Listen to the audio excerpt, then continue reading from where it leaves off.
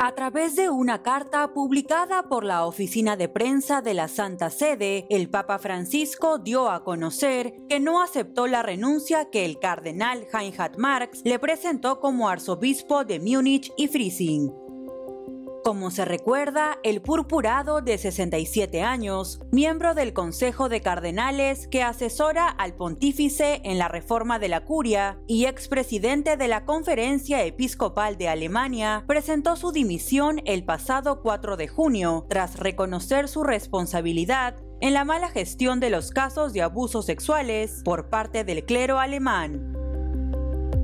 En la misiva enviada al cardenal Marx, el Santo Padre reconoció que toda la Iglesia está en crisis a causa del asunto de los abusos e insistió en que hoy esta no puede dar un paso adelante sin asumir esta situación.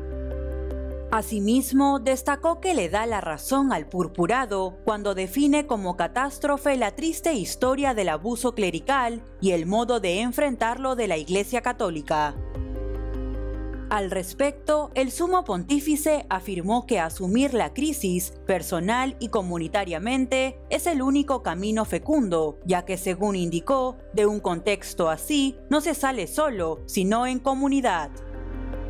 Del mismo modo, enfatizó que hay una necesidad de pronunciar un mea culpa ante errores históricos del pasado, aunque personalmente no se haya participado en esa coyuntura histórica.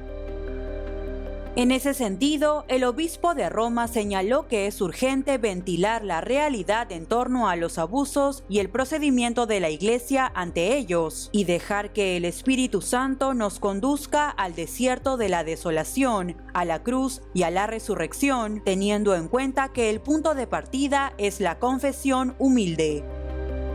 Finalmente, el Papa Francisco exhortó al cardenal Marx a continuar como arzobispo de Múnich y Freising y le dijo que si viene a él la tentación de pensar que no lo comprende porque no acepta su dimisión, que piense en lo que sintió Pedro cuando quiso renunciar delante del Señor y él le dijo, pastorea a mis ovejas.